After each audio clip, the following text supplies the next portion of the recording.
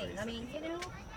Well, if you get a one, if you have a one v one, or you're open, I would say if it's a one v one, try to challenge. Do something. so this girl's going against three. Right. That's, that's the goal.